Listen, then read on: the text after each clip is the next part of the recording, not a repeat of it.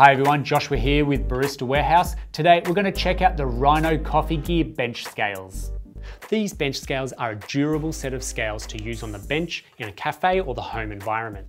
They are the perfect size, measuring 21 centimeters across, to fit an espresso machine portafilter on, but equally good size for larger style filter coffee brewers. Now the max capacity to the bench scale is 2 kilograms. What's impressive though is that it features a reading of down to 0.1 gram accuracy. They also use grams and ounces as possible measurements in the different weigh modes. And it can be tared and zeroed off, so you can measure the net weight of something, and this is particularly handy for dosing straight into a portafilter with and these scales can be individually calibrated too. This ensures the performance of the scales gives a reliable reading throughout its lifetime. Important to do, it's recommended to calibrate your scales based on the frequency of use. Now they have a backlit LCD screen that's easily viewable during use and also an auto off function set at three minutes if left unattended to conserve power. But you can also select this auto off function to be less time or simply have it turned off if you prefer.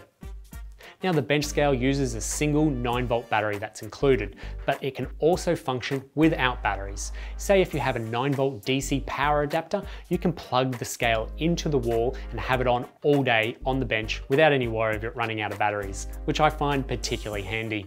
There's also a hold function, so if you do have something large blocking out the display on top of the scales, then you can have that weight held on the screen after you've removed the object and that's the bench scales from Rhino Coffee Gear for you. If you have any questions on this set of scales, then throw them in the comments below and we'll get straight back to you. Don't forget to hit that little bell icon and that way you subscribe and keep notified when we bring out new videos, just like this one, every week. If you've enjoyed this video, hit like. Thanks for watching, we'll see you next time.